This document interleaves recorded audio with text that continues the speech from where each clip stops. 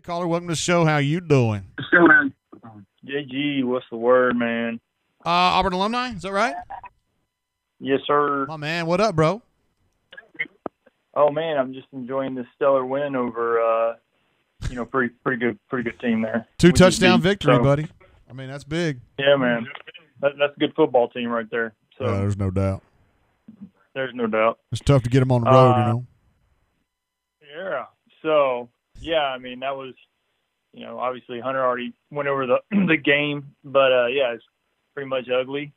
Uh, was ugly the whole way through. Uh, you know, Bo was about as bad as he's looked all year. The saving grace was that you know five star racehorse we got in the backfield that ran all over everyone in the back in the second half, but I mean, it just it wasn't it wasn't pretty. I mean, the score looks a lot better than any, anyone that watched that game. Um, you didn't come away feeling super terrific about the performance. No. Uh, so you know that's you know it is what it is. Um, you know, I, I I said it before. I'll say it again. I I don't see how today's performance, or especially after watching it, but I don't see how the outcome of a game against now a two and seven Mississippi Mississippi State squad that has some like 50 scholarship players left on it is the determining factor on eight years of data. I don't see how this is the oh he won he stays oh he lost he goes. I don't see how that I, I don't see how it computes. Um, you know, to echo what Hunter said, um, I don't see any way if you feel that Auburn is a team that should be challenging for championships and challenging the Georgias and the Alabamas and the Floridas and the LSU's and the A&Ms. I don't see how you can stay on with Gus any longer than we have. I don't. There is no momentum in the program, uh, and again, you got so much hard data. I mean, the recurring theme on the broadcast and everything is how Gus is proverbially on the hot seat. So if he's proverbially on the hot seat, then that means by definition you're already at a disadvantage uh, in recruiting because every every other coach is out there saying, you know, he's probably going to be gone after this year. You're you're you're going to have a new position coach. You're going to have a new staff.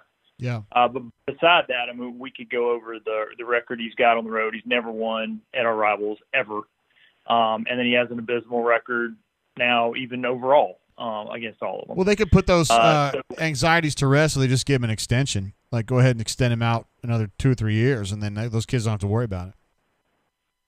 No, that'd be great, man. And then we could just really get solidified on like softball and soccer and I don't know whatever what other false intramural sports do we have going on at Auburn? we could start advertising. Uh, exactly. No, but I I just feel like you know it, it there is no momentum. There's no there's nothing to sell anybody on. There's no excitement. I mean, I don't know about you, but I, I was sitting there. You know, I had the game on, but I was sitting here draining it, and then I'm watching the LSU game. And I, I'll tell you the other thing: watching Bruce, I had no desire to switch over. I watched that whole game till the end. Watched Vanilla Killa, you know, get another dub, uh, running point, and didn't even care about the game. And it's to me, you know, again, I'm 43. I'll be 43 New Year's Eve. I grew up in the 80s. I grew up with Coach Dye. I grew up, you know, that was what I had in the elementary school growing up and high school, and you know, pretty much all my my my life I've expected Auburn to compete and win against the big boys in the league. Not every game, but we hold our own, and uh, we're not holding our own with the top level anymore. We're just not. The only, you know, we beat LSU, but they're abysmal. Outside of the game tonight in, in Gainesville, this is the worst LSU team in 25 years. We should beat them. Yeah. Um, that's that shouldn't even be a question. Uh, we shouldn't be excited about being a two and seven Mississippi State team by two touchdowns.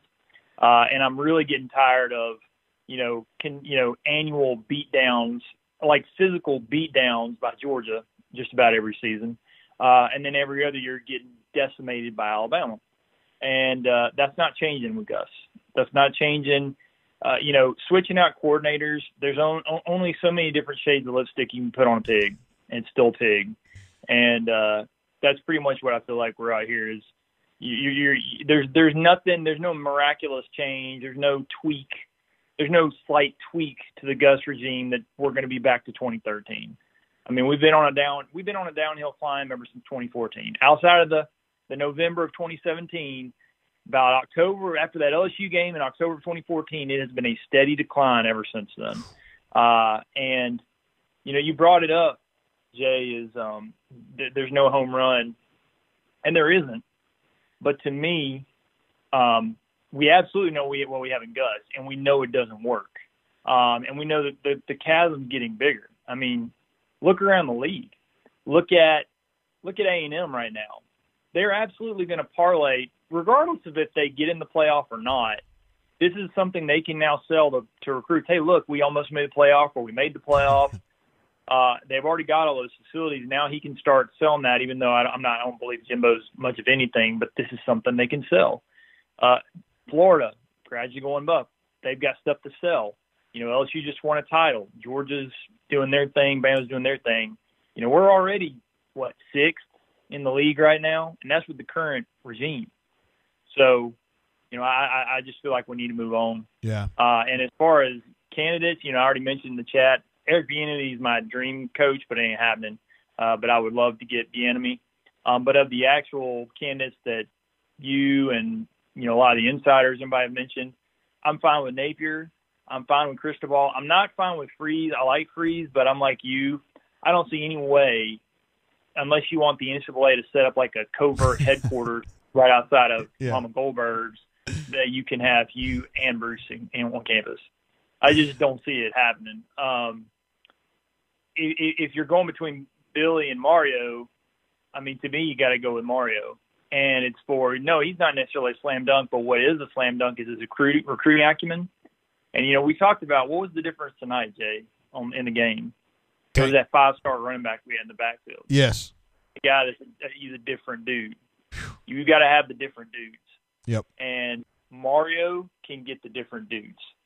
Um, and the thought of Mario coming in with the experience of, you know, his ties down here, he's already got a, you know, a bell cow to run behind.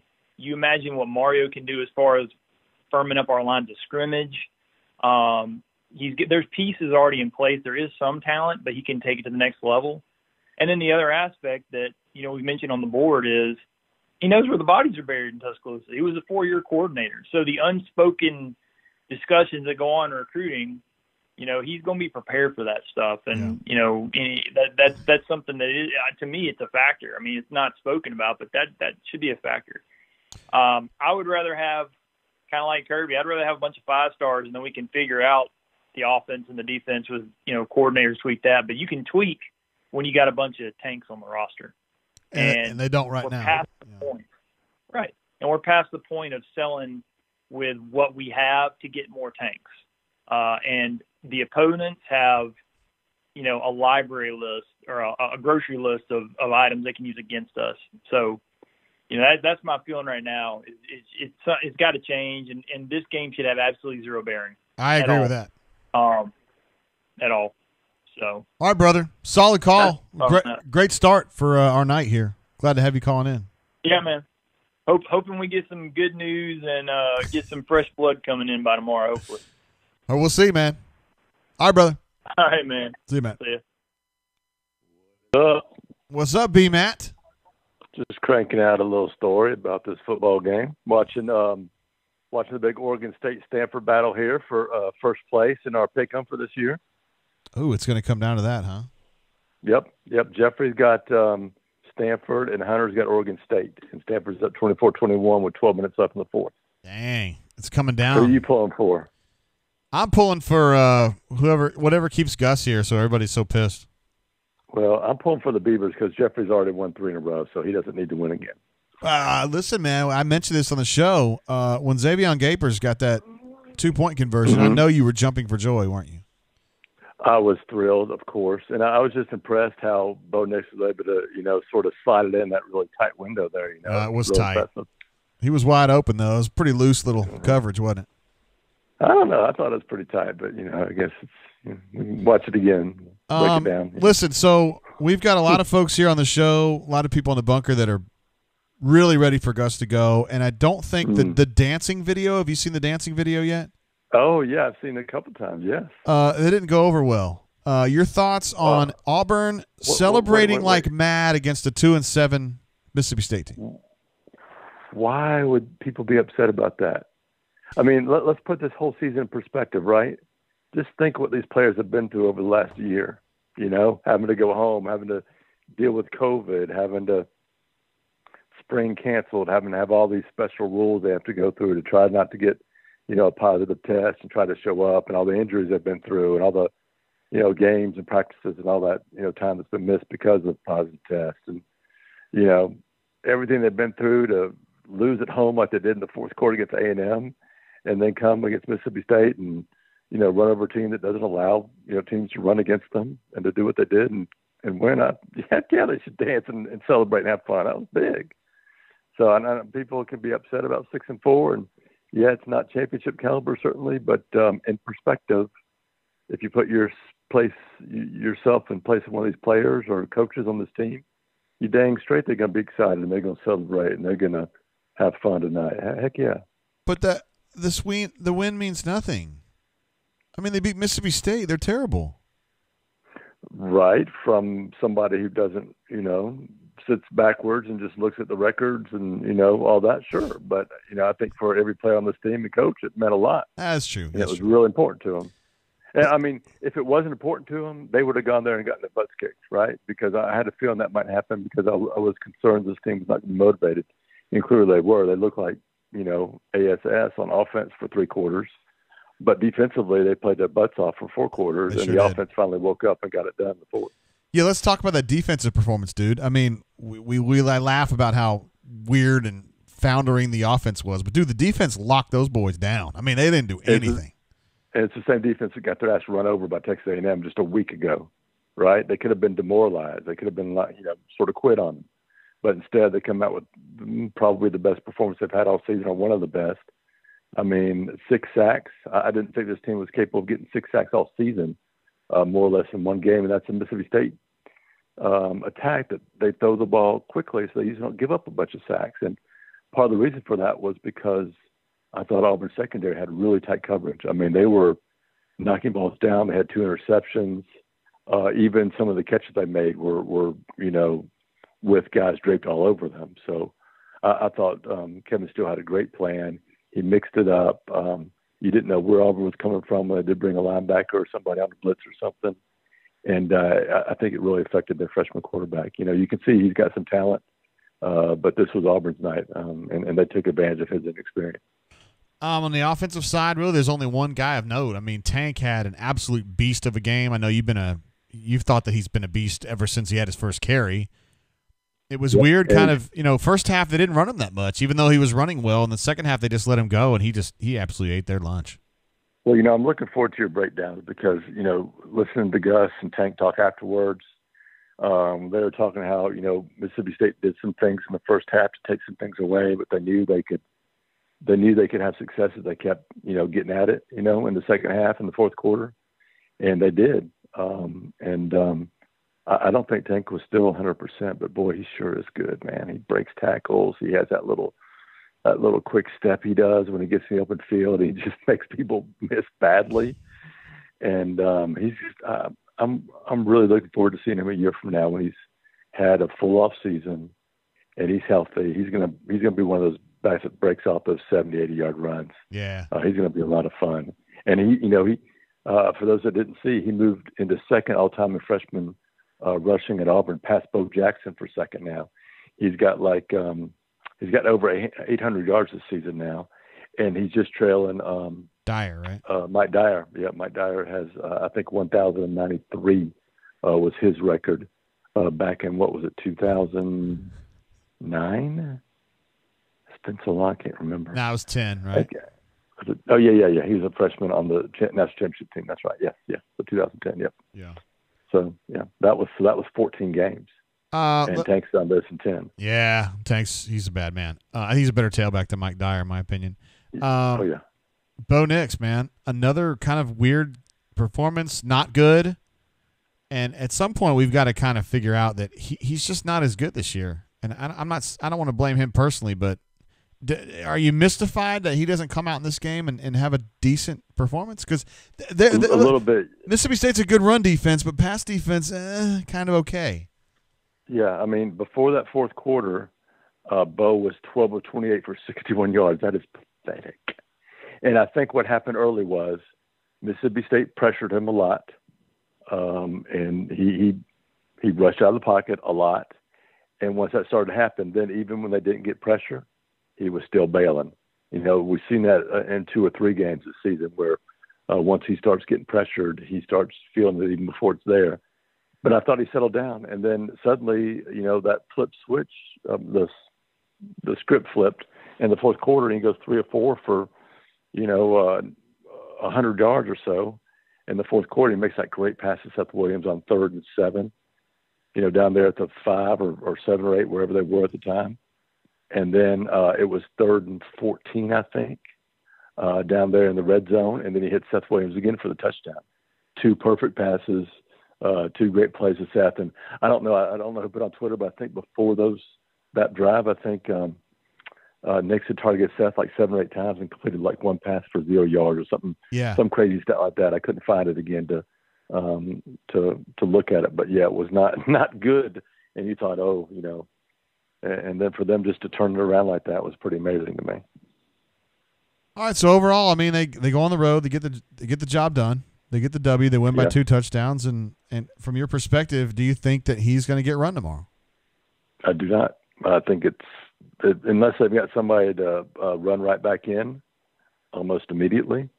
I think it would be a poor decision to fire a coach three days before signing day. So, um, and then maybe they have things lined up, but uh, you know, I have no reason to believe that at the moment. So, do you think so they would? We shall see. Do you think they would fire him a week from now or two weeks from now? Do you think if he gets through tomorrow that he's good? Um, I, I, I think if he gets through tomorrow, he's good for for now. Could it happen later on? Sure, absolutely. I would not totally rule that out. Interesting. You know, I don't think um, anything that happened tonight changed anybody's mind, right? No, I don't think it changes anybody's mind. I think everybody's mind was made up one way or another before this game kicked off. So yeah, I agree, and I'm not sure what happened on the field. Now, had had that third quarter rolled into the fourth and Auburn lost, that probably would have pulled some more people. Uh, that probably would have changed some minds, right, in the yeah. wrong direction as far as Gus is concerned. But I don't think anybody's mind has changed one bit after tonight, even though it looked pretty bad for three quarters. It's uh, it's tough in the chat right now. Uh, Chase says, "Boo, be Matt." Uh, Jonathan S says, "B Matt will take a long walk down a short pier if they fire Gus tomorrow." uh, Cassidy P says, "B Matt might be on the take." yeah. Listen, I mean, maybe it happens, but it just doesn't make sense to do it right now, this moment. It just doesn't, unless you've got something lined up okay, if you're going to do it and then bring somebody in right away to, you know, handle recruiting for the next three days or whatever it would be, yeah, okay, fine. I just I'm not sure Auburn is good or smart enough to do that. I don't believe Auburn is. Auburn usually uh, screws these, these things up or or does them haphazardly. Um, haphazardly. So we'll yeah. we'll see. You know, and it's I interesting. Mean, maybe maybe if you had the one guy running the show like you did uh, 15 or 20 years ago, yeah, that could get done. I'm just not sure this this um, administration and this board of trustees and all the guys that think they're in charge um, really are capable of doing something like that. You know, and to hear that uh, Alan, excuse me, Alan was on the pregame show with Andy talking about you know the financial realities of this COVID situation, and I, it just doesn't seem like he sounds like a guy who's ready to drop money to get rid of Gus. I, it, it just, yeah, it's starting to look that way to me. Well, I mean, you're talking about 50 million or so in the hole to start out with. You're still talking about 21.5 to playoff payoff Gus, uh, around 30 total when you include his assistants, and then you got to hire new staff. And uh, I think now they're planning to um, approve the final plans for the football only facility in January, February. The next meeting, I think, early February. Uh, so that's what going to be another 50 million or more, probably, probably more. Uh, so that's a huge amount of money that you need to come up with, and you're already in the whole 50 million, and now you're asking to pay out another 30 just to change coaches and maybe more to hire new staff. So it's just not as cut and dry as people want to think it is. I know that stuff matters, I right? I know. Yeah. All right, B Matt, you've done a hell of a job. You got a little more writing to do. You know, I do. I'm, I'm about to put up a story right now, and then we got some more writing to do. So it's gonna be one of those nights. Digging it out, bro. And you got basketball too, man. That's yeah, good. well, Christian did a great job taking care of that for us, and that was we didn't mention this, but that was a really big win for Auburn. Memphis is a good team. Uh, it was a close game, and Auburn played really, really well. I thought um, throughout the game, played really hard, and uh, you know, JP is one hell of a football player, isn't he? Wow, is he fun to watch? Basketball, you mean? He, he, yeah, he is a good one. Yep. And I mean, I think for recruiting, that's a big win too, because Auburn and Memphis go at it for kids, and Yeah, that's right. BP can talk And about every- that now. and all these national writers that were making fun of Auburn for um, you know taking a post game, you know, uh, penalty or whatever. Uh, you know, this team is going to be a, a NCAA tournament team at the end of the year. They're not going to be in it, of course, because they can't be in it, but I think they're going to be good enough to be in it by the end of the year. Damn. So all those national writers can uh, KMA. All right, bro. B Matt, it's been a good performance, sir. All right, I apologize to all people who are upset because I think that's the stand. That's just my opinion. I'm not, you know. It's not a big I'm deal. not, They just uh, want to drown you. That's fine. It's not a big deal. It's it's, it's a show of love. Uh, hey, by the way, they should all wish me a happy birthday. So I just turned 12:01 a.m. So I just turned 50, 53.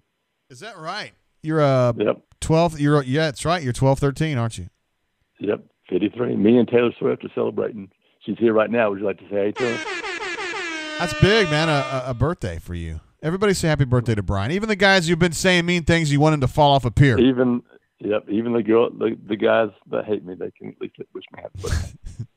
All right, B man. Happy birthday, bro. Peace out, man. See you, man. Bye. There right now. It's not like it. Not like ninety eight though. Hey, caller. Welcome to the show. How you doing? Hey, what's up, Jay? Word. Who I got? This is burnt orange and navy blue. Hey, what up, man? Yeah, man. I hadn't talked to you since I guess it was last year's Georgia game. Uh, we spoke for a little while and all that, and I remember asking you about Chad Morris if we were going to get Chad Morris, and now I regret that call. yeah, me too, man.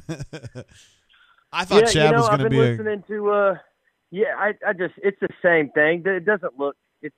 I mean, he just threw a couple slants in there. I don't think there's really any any difference in him and Gus, but you know, um, I'm actually last time I talked to you, I was stationed down in California in the Air Force, and I got some orders finally and got out of California. Thank God. Got down here to Sheppard now, and uh, I'm on NCOD duty where I have to watch about 300 kids just to make sure they don't kill themselves before they go home on uh, Christmas break. So I had to be here at nine central, so I missed the last half of the game, so I had to listen out on the radio, and I've been draining ever since. So definitely helped me get through. I'm here till one, so I got a little bit more time, but I just wanted to kind of just weigh in on just the whole Gus thing. I think uh, I definitely fall on the same kind of side as everyone else when it comes to this kind of stuff.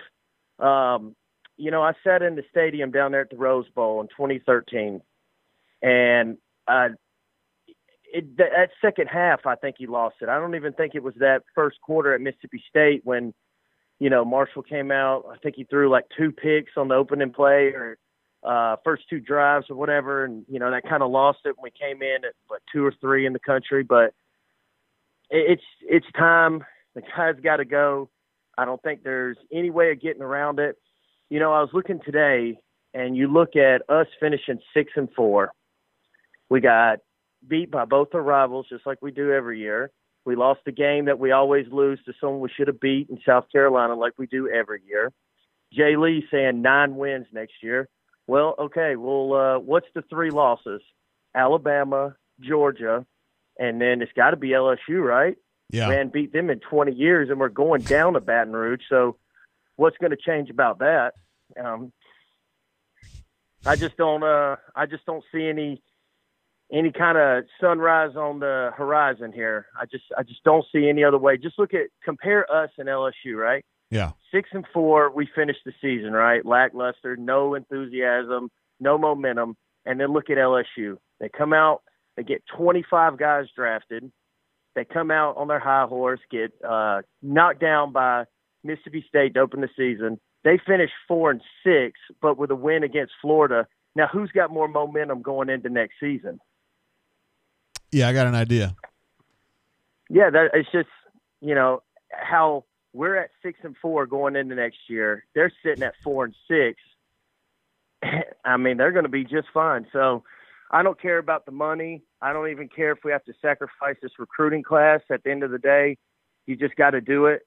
I don't know. I kind of get a feel of the Cristobal thing. I know there's a lot of that boulder's been rolling there on the bunker, but I just he's kind of got like a not necessarily a Chizik feel, but just the head coaching record. You know, we hired Gene. It was like what 11 and 28 at Iowa State, and I don't know. I just don't know if he can necessarily win. I think you know with the coaching pool being so slim, obviously this year. I know Napier, the guy's a winner, but to me, it's got to be Matt Campbell.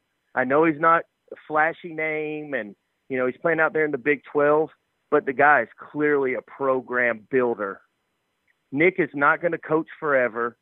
I know we've been saying that for three or four years. Like eventually he's going to, you know, head up to Lake Martin and call it a career. But I mean, come on. I mean, he's got no more than four years left. I think he wants to get one more past the Bear and, you know, maybe play, you know, coach one more season after that. Um, I think Jay Lee's right again. I saw the graphic today. Kirby Smart is Mark Richt disguised over there, just does a little bit more yelling. It's like literally the identical, you know, kind of record. So Georgia's going to start, you know, hooping and hollering here pretty soon too. So, um, it's just we gotta have to just do it, cough it up, do the money. Who cares about you know what it looks like optics wise? Yeah. Go out, get Matt Campbell, Napier, one of these guys, you know, and just call it a day. Get going. And you were saying you're at Sheppard, meaning uh, Wichita Falls. Yeah, Yes. well, I mean, I, I went to sc- high school in Oklahoma, so I, that's pretty close to Oklahoma. It's right near the border. Yeah, it's a lot better. I was out in the Bay Area for the Hey. longest time, so I got out of there early March, right before COVID kind of really popped off, and uh, really loving it down here in Texas, man. Word. That's. I mean, I think of that's So- kind of like an open area there. Like there's, it's not a big. Uh, it's not built up. It's kind of you still get some country feel there, right? Well, they have uh, the big college here in town, Midwestern State. Well, not a big college, but it's pretty much where all the kids that can't get into UT or Baylor or TCU and all that, and rich families from Dallas, they send them up here to Midwestern State. But with Midwestern State kind of closed down, uh, it's an older community without uh, without the kids there at the college and stuff. But Word. I'm married with a kid and one on the way, so I'm done Oh, howling damn. at the moon on the weekends and all that. Yeah, so. yeah. Congratulations, man. That's gonna be fun. Parenthood's awesome. I appreciate that. Well, all right, man. I'll let you uh, get to a few more callers. Just wanted to call in, man, and uh, appreciate you getting me through these last couple hours over here. you bet, brother. Hey, be good out there. all right. Yep. Take care. See you, man.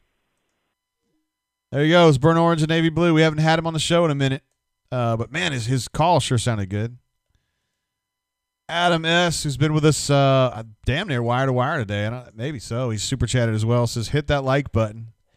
If you are one of our viewers and you're getting something out of this, either you like the show, you hate the show, you think I'm a stud, you think I suck, you think Gus shouldn't be dancing, whatever, just go ahead and hit that like button. It doesn't cost you anything. It's uh, it's it's nice. It'd be nice to do. I am uh, reaching out to B Matt. I don't know if he fell asleep or what happened with Brian. Uh, can't get him, and I also reached out to Doctor Dumpster, and uh, haven't gotten back from him yet. Although sometimes it takes him a little bit to uh, get back with me. So yeah, we had some good calls there for sure. Did I miss a super chat? I want to make sure I didn't miss one. Sound like uh, Burn Orange and Navy Blue uh, likes uh, Matt Campbell from Iowa State. I probably need to add him. I didn't. I didn't have him on the uh, hot board that I uh, put together, just in case. You never know. You never know. I always gotta be ready. Gotta be ready for the subscribers. I- I'm doing it for you guys. Hey caller, welcome to the show. How you doing? Jay Jizzle, What up, what's man? happening, bro? Is this is this my main man, Elite Gus? Yes, sir. Good evening. You you do sound a little bit different on the horn, but I kind of know now. and also, did you not have a Well, uh, uh, did you not have an enterprise represent earlier? I did. I did. Yeah, that's right. Is it is MWD is MWD from Enterprise? I believe so. Oh, okay, if, cool. if if it's the same person I'm thinking it is. Yeah. Oh, But, first of all, uh, congratulations to you and your wife on uh, another kid.